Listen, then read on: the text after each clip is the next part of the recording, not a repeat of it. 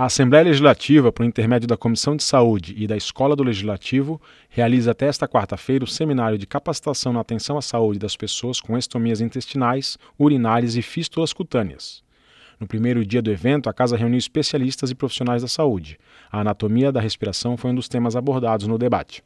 O objetivo dessa palestra né, é conscientizar os, os, os profissionais da área, né, da, da, da, enfermagem, fonoaudiologia e médicos, tá?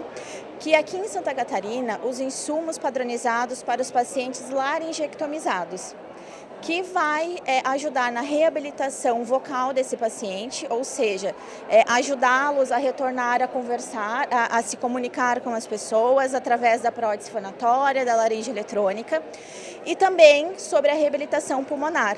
O seminário tem por objetivo proporcionar informações que auxiliem os profissionais de saúde na prestação de assistência segura e de qualidade às pessoas com estomias.